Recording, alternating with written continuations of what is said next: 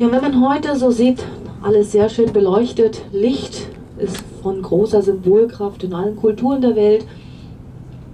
Licht bedeutet Wärme. Ja, in früheren Zeiten das Feuer, das ermöglicht uns auch das Leben, das Sehen in der Dunkelheit, spendet Wärme, spendet Leben. Insofern ist es natürlich klar, dass Licht immer diese große Rolle in der Geschichte gespielt hat. Wenn wir heute sehen, wie schön alles beleuchtet ist, wenn wir das genießen können, wenn wir die Märkte genießen können, es wird also immer bunter, leider auch mal ein bisschen hektischer. Aber wenn man sich überlegt, wie die Städte noch vor 200 Jahren ausgesehen haben, selbst Berlin war relativ klein.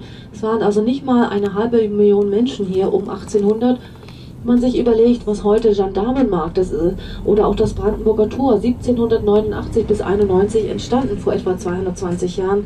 Ja, das war damals Stadtbegrenzung. Berlin war wirklich selbst vor 200 Jahren noch relativ klein und erst um äh, 1800, im späten 18. Jahrhundert hat man angefangen, hier die beiden Fahrbahnstreifen mit großen Feldsteinen, mit rundlichen Feldsteinen sozusagen erstmals zu pflastern. Ja, früher waren das eher so Sand- und Schlammwege, je nach Wetterlage. Und vor den öffentlichen Gebäuden, Bürgersteige, gab es auch erst so um 1800, im frühen 1900 sogar herum. Und als Lampen dienten Öllampen, die an eisernen Ketten aufgehängt waren, quer über die Straße. Ja, man muss sich vorstellen, quer über die Straße hingen eiserne Ketten, daran hingen Öllampen und im Sommer gab es überhaupt keine Beleuchtung. Im Sommer musste dann der Mond genügen und das war dann doch zu später Stunde recht düster, würde ich mal sagen.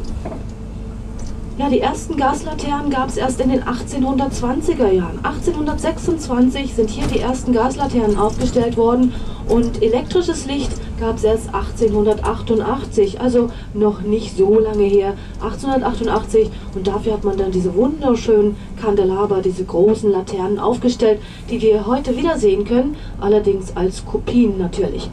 Ja, das ist schon die Nachwendezeit. Wir befinden uns ja hier im historischen Berlin im ehemaligen Ostteil der Stadt.